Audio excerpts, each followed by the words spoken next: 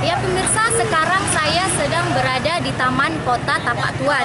Ini merupakan salah satu tempat wisata yang setiap harinya dipadati oleh pengunjung.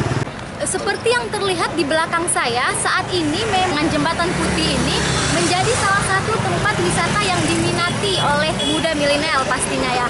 Tempat wisata ini bukan saja dipadati pada hari-hari besar seperti Idul Fitri dan Idul Adha, melainkan pada hari biasa juga. Jembatan wisata Jembatan Putih ini selalu dipadati oleh anak-anak muda.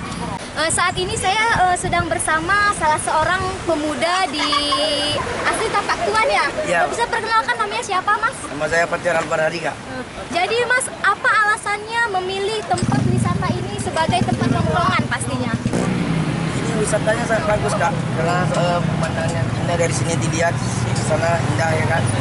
Makanya kami di sini sering nongkrong cari-cari angin.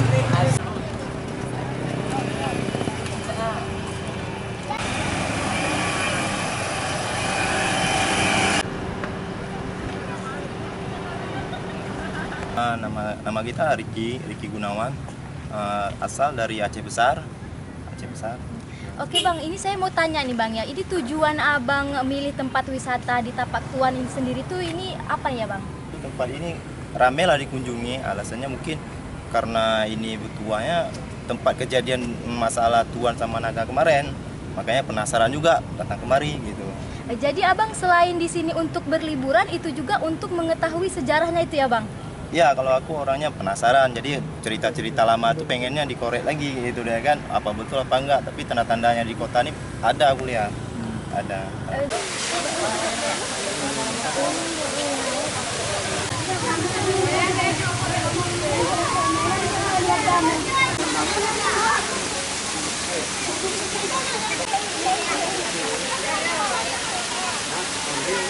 Eh, ini tempat wisata yang memang eh, menarik banyak eh, pengunjung, terutama karena ada air terjun.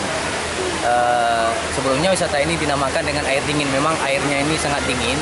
Jadi wisata ini dimanfaatkan oleh masyarakat eh, Aceh Selatan, khususnya maupun Barat Selatan, eh, untuk datang eh, dengan keluarganya membawa anak-anak, apalagi ini momen Lebaran ya, bawa mandi anak-anak di tempat air terjun ini.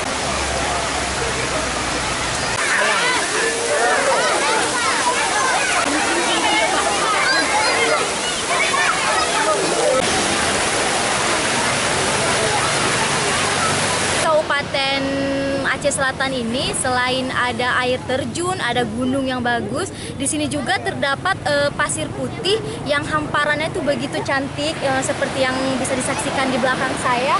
Begitu banyak pengunjung bukan saja pada saat eh, momen-momen lebaran seperti saat ini, tetapi para pengunjung eh, sengaja datang untuk menyaksikan sunset ya matahari tenggelam gitu pemirsa. santai aja buku asalnya dari mana habis itu kan Eh, kalau di Tapak Tuan sendiri tujuan tempat wisatanya tuh di mana-mana aja ya bang Ya sebenarnya ada banyak ya, cuman ya salah satunya di pantai ini juga karena mumpung udah sore juga ya nggak mungkin juga ke sana lagi kan. Udah di sini aja kita berhenti.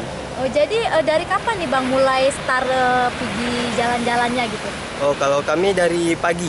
dari pagi itu dari pagi keliling ke mana aja ya bang Dari pagi itu dari Blang Pidi, Abdia, terus ke Tapak Tuan, sama dua, ke air terjun juga ada di sini banyak tempat wisata lah pokoknya.